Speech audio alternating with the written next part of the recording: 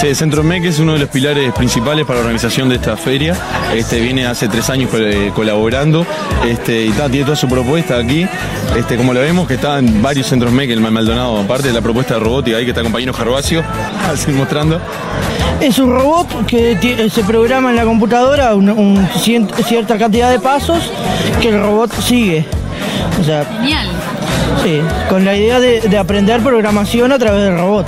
Está muy bueno eso. ¿Dónde lo aprendiste? Eh, yo fui capacitado en la Facultad de Ingeniería en Montevideo, fuimos a una capacitación. De este lado está la propuesta de, del ajedrez que tienen los compañeros de Centro MEC también. Este, hay una propuesta de ajedrez inclusivo con personas no videntes también.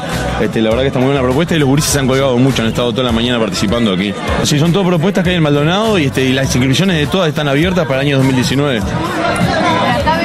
Plan 2009 nocturno, plan 2012. Sí, es para poder terminar el, bachillerato en un semestre y medio. Este es el plan 2012 que está en el Liceo Pan de Azúcar. ¿Para adultos? Es para adultos y para jóvenes, sí.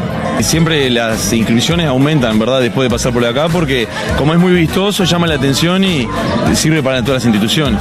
Como siempre, sí, porque para la oferta educativa, los estudiantes cuando egresan, ya sea bueno de, de las escuelas de sexto año o también de bueno de secundaria, y es muy importante el centro de lenguas porque la opción es gratuito, cursos de francés, italiano o portugués.